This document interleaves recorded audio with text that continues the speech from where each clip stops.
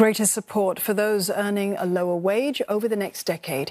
The government has accepted 18 recommendations made by a tripartite work group to uplift lower wage workers. Manpower Minister Tan See Leng spoke to my colleague Glenda Chong. He started by giving an overview of the 10 year roadmap to speed up wage growth for such workers. What the exercise does um, over a 10 year period is to uplift um, the wages of our lower wage workers and also put them on a firm gradient to achieve uh, an uplifting over the next decade. Um, for the bottom 20%, um, in fact, what we have pegged the gradient to be would be a median plus um, wage increase.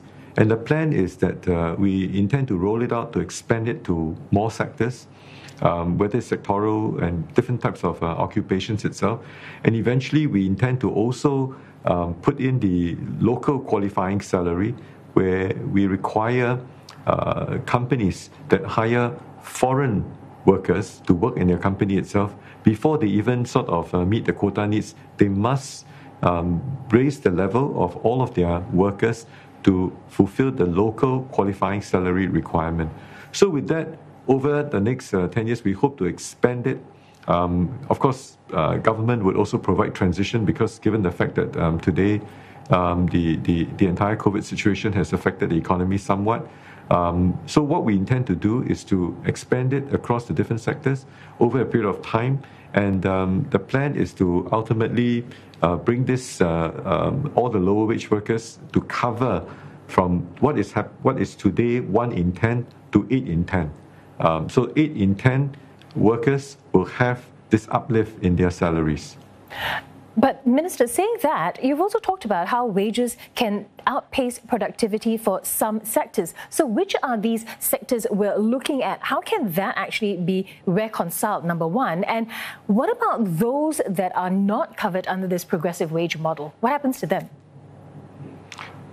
Yeah, so the, the, the first thing is ostensibly we try to uplift um, productivity in, in the firm. So we do have quite a fair number of grants available to help companies improve productivity and also to help workers to upskill, to reskill themselves, to improve their productivity. But there are certain sectors, there are certain jobs where productivity is not going to, to, to, to be, I mean, you reach a certain uh, plateau. In these cases, we hope that the wages will outpace productivity. And again, government will step in to provide that transitional support.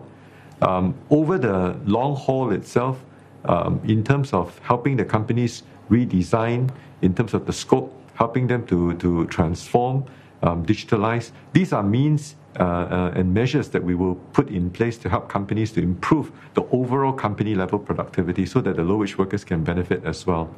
Um, for the balance in terms of, um, I think there's a group of uh, um, a small group of companies itself uh, where they are either uh, hawker stalls uh, in hawker centers itself, uh, either that or, or very small to medium, uh, very small enterprises like your Heartland, uh, Heartland shops, the HDB shops and so on, where they don't hire any foreign worker.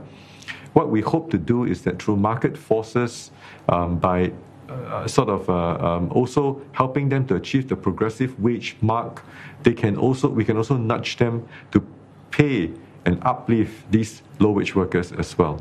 But I mean, we can't possibly cover everyone, but the plan is to try to minimize this group, and then we will have other means to come and help them. And obviously, um, the low wage workers will not only be supported by the progressive wage model, uh, the, the local qualifying salary, they will also be eligible for workfare as well. And workfare is, is um, um, direct government support to these low wage workers.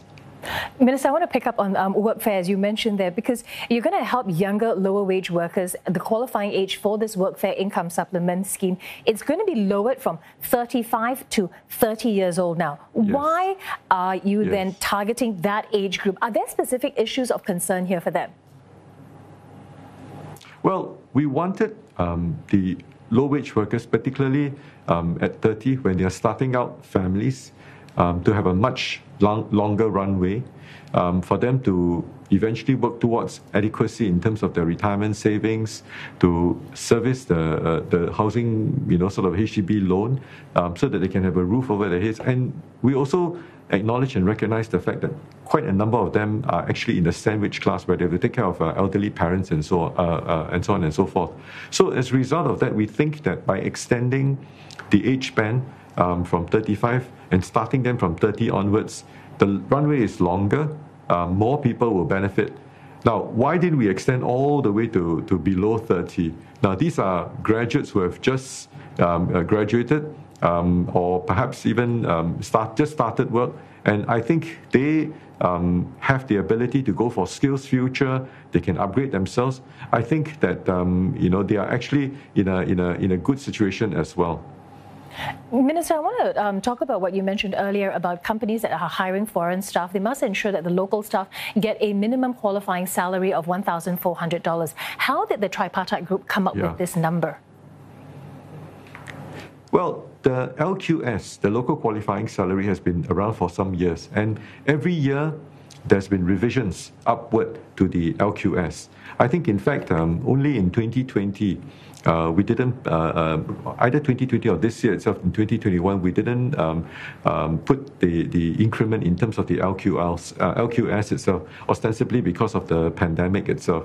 So, over time, um, we take feedback from the tripartite partners from industry and NWC, the National Wages Council, review it periodically and, and set it um, uh, at the level that's appropriate with um, you know the national sort of uh, um, standards. So in this particular setting itself, we set the LQS at 1,004, but this will also be reviewed yearly to keep in tandem with the the, the, the whole um, market forces um, as well as the industry needs. All right, thank you very much, Minister, for joining me this evening. I've been speaking with Manpower Minister Tan See Leng.